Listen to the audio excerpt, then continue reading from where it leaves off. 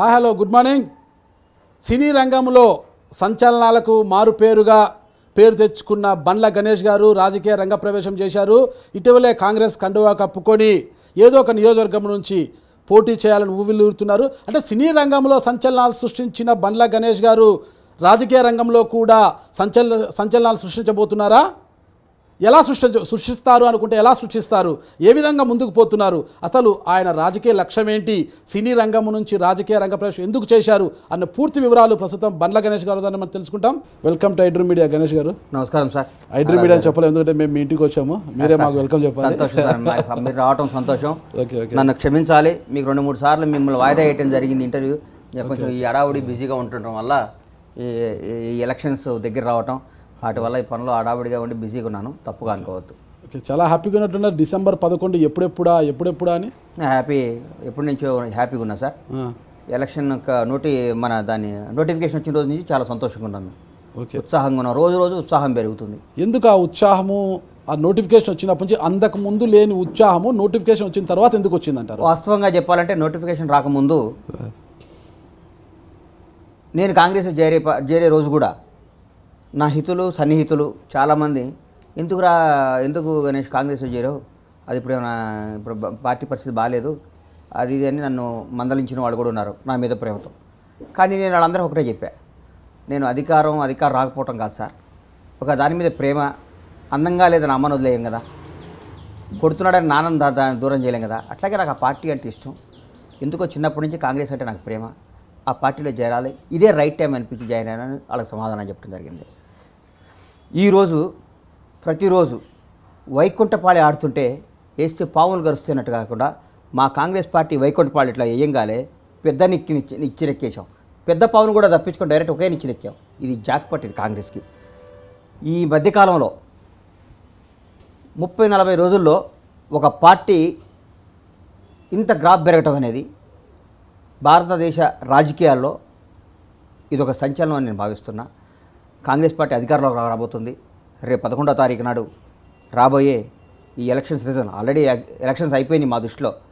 జనం వచ్చి వాళ్ళ మనసులో ఉన్నదాన్ని వాళ్ళు ఏమనుకున్న మనసులో ప్రిపేర్ అయి ఉన్నారో దాన్ని వచ్చి ఓటర్ అన్నదా సమాధానం చెప్పి గెలిపించే గెలిపించి పదకొండో తారీఖు నుంచి మేము అధికారంలోకి రాబోతున్నామని గర్వంగా చెప్తున్నాం సార్. కాంగ్రెస్ పార్టీ అధికారంలోకి రాబోతుందా? కాంగ్రెస్ పార్టీ కూటమి అధికారంలోకి రాబోతుందా? కాంగ్రెస్ పార్టీ కూటమి అధికారంలోకి వస్తుంది సార్. మరి కాంగ్రెస్ పార్టీ అధికారంలోకి వస్తుందని ఎలా చెప్తారు? కూటమి కదా వచ్చేది. అరే కూటమి అన్నా ఇప్పుడు నేను అన్నా మేము అన్న ఒకటే సార్. నేను సింగులర్ అవుతుంది. మేము ప్లూరల్ అవుతుంది.